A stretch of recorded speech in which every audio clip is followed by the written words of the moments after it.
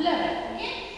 And the blood contains two types of the component. First one is what? Fluid component and the solid component. So in the previous video we have discussed about the fluid component like plasma and also we have discussed about the solid components of the blood and in that we have discussed about the red blood cells which are which is also called as what? Erythrocytes. Okay? So let's move on the next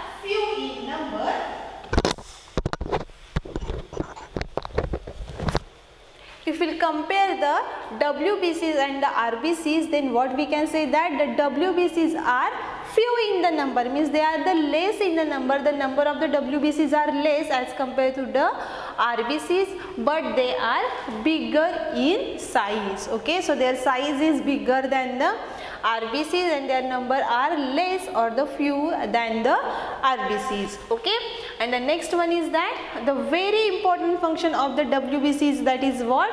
To fight against germ okay? So the so many whenever we are having the breathing or whenever we are having the food that time what happens so many germs enters in our body. Or anyhow whenever we are having the breathing process that time also so many germs are enters in our body. Or with the help of the different ways the germs can enters in our body that we have seen in our previous video. With the help of the water food or etc. Okay?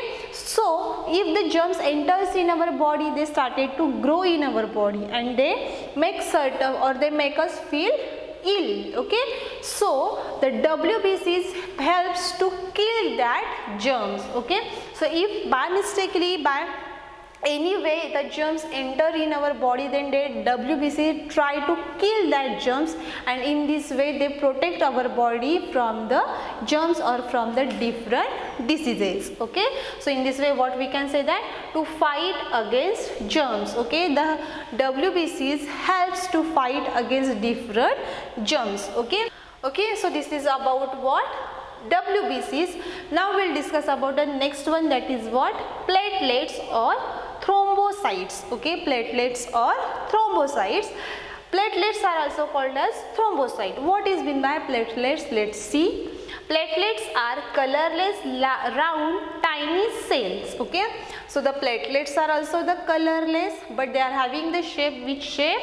Round and they are tiny okay? They are small in a size as compared to RBCs and uh, WBCs and very important they formed in the bone marrow. Okay where they form? They formed into bone marrow. But what is mean by bone marrow?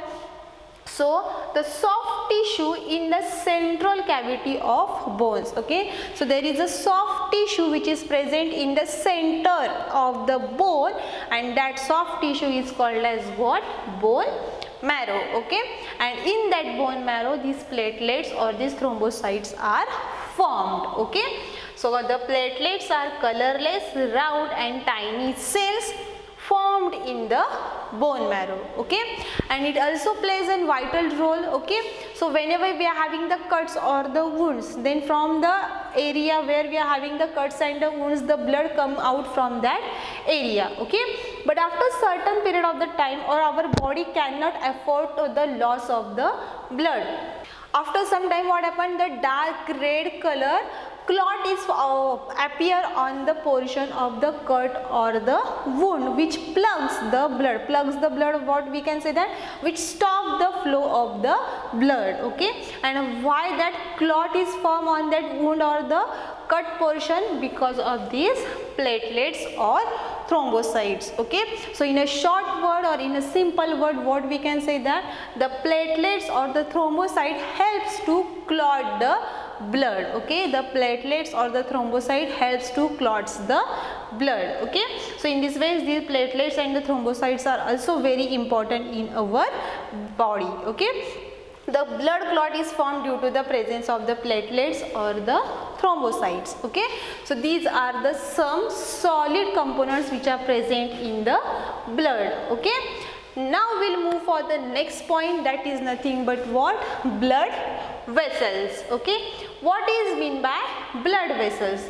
The blood vessels are the tube like structure which helps to transport the blood in in our body or which helps to transport the blood throughout the body.